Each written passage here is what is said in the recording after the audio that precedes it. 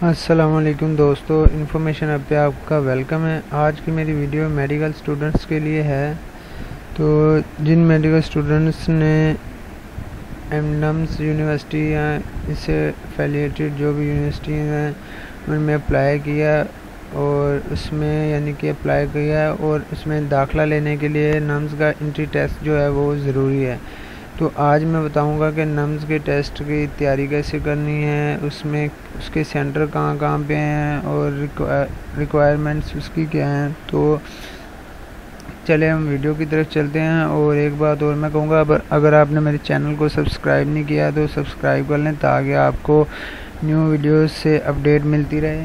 तो ये हम आ गए यहाँ पे अच्छा एक बात और मैं बताना चाहता हूँ कि नम्स की तरफ़ से कोई भी बुक नहीं जारी की गई जिससे आप इंट्री टेस्ट की तैयारी करें।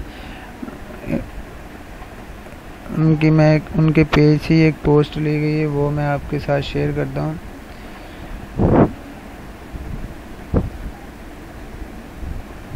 ये उम्मीदवारों को सख्ती से तकीद की जाती है कि National University of Medical Sciences की तरफ़ से तरफ़ से दाखिला इम्तहान या इंटरव्यू की गर्ज से कोई किताब या नोट, नोट्स या किसी भी किस्म के दीगर तालीमत मवाद शाया नहीं करती। किसी शख्स से फेसबुक अकाउंट, वेबसाइट या अकेडमी में नम्स के नाम पर किसी तरह की मावनत हासिल करने से गुरेज करें।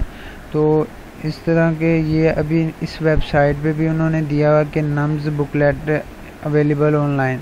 तो यहाँ पे आपने कोई किसी किस्म की बुक नहीं ख़रीदनी, ठीक है? All the candidate eligibility criteria जिनके 70 परसेंट मार्क्स हैं, वो एलिजिबल हैं, ठीक है?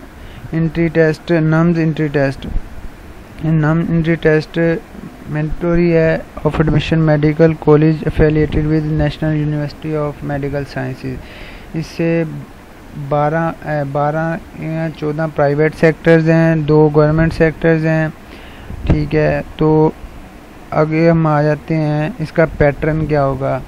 इंट्री टेस्ट का pattern minimum requirement of conduct is 120 60 percent marks होने चाहिए। NUMS entry test shall compromise single question paper अच्छा कंटेनिंग 200 मल्टीपल चॉइस और इसमें डिफरेंट कलर की शीट्स होंगी। इसके लिए आपके पास ढाई घंटे होंगे और इसमें नेगेटिव मार्किंग नहीं है, ठीक है? How can apply student of A level and F S C pre medical can can apply अच्छा who have minimum 70 percent marks ठीक है? आपके 70 परसेंट मार्क्स होने चाहिए। With the foreign university body with the subject of the biology chemistry and English additional we marks will be award to हाफज Quran हाफज कुरान को 20 marks अलग दिए जाएँगे। और if he she pass the हाफज Quran test conduct by the admission board National University ठीक है? उसके बाद मार्क्स की डिवीज़न कैसे होगी? इसमें 200 एमसीक्यूज होंगे, जिसमें 80 एम जो हैं बायोलॉजी के होंगे 60 जो हैं केमिस्ट्री के होंगे 40 फिज़िक्स के और 20 इंग्लिश के। ठीक है, ये आपका जो तमाम एम सी क्यूज़ का मवाद होगा, आपके एफ़ एस सी के कोर्स से होगा। अगर आपको, आप फ़र्स्ट ईयर और सेकेंड ईयर की बायोलॉजी केमिस्ट्री और फिज़िक्स इंग्लिश को अच्छे से कर लेते हैं तो आपका टेस्ट 100 परसेंट आप कर सकते हैं। और क्वेश्चन थोड़े टेक्निकल होते हैं, लेकिन आता आपका उसी में से ही है फ़र्स्ट ईयर और सेकेंड ईयर की बुक्स में। तो नम्स की कोई ऐसी बुक्स नहीं है, कोई मवाद नहीं है, कोई नोट्स नहीं है, जिससे आप तैयारी कर सकें। उनके पेज की आपको मैंने पोस्ट भी दिखाई है।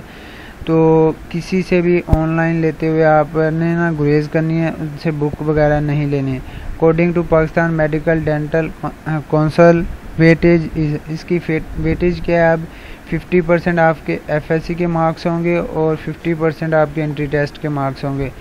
और बाकी जो इसके, इस दफ़ा 16 सेंटर्स हैं, इस्लामाबाद, लाहौर, मुल्तान, उसके बाद खैरान, फैसलाबाद, सरगोदा, भावलपुर, कराची, हैदराबाद, सखर, एबटाबाद, डेरा इस्माइल खान, पेशावर, कोयटा, मीरपुर और मुजफ्फरगढ़।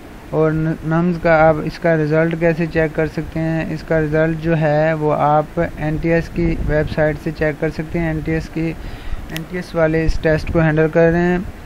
पहला जो एक अक्टूबर को टेस्ट होना था एक सितंबर को, उसमें पैंतालीस हज़ार स्टूडेंट अपेयर हुए थे और जिसमें दस हज़ार स्टूडेंट्स की एप्लीकेशन और कंप्लेंट एप्लीकेशन गई थी इनको, जिस वजह से एक सितंबर वाला इन्होंने अब पोस्टपोन करके उसे आगे कर दिया है।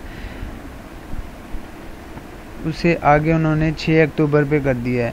तो इसका टेस्ट की तैयारी इस तरह से आप अच्छी कर सकते हैं और किसी से कोई बुक वगैरह नहीं लेनी तो मेरे चैनल को सब्सक्राइब कर लीजिएगा ताकि आपको न्यू वीडियो से अपडेट मिलती रहें। शुक्रिया, खुदा हाफिज़।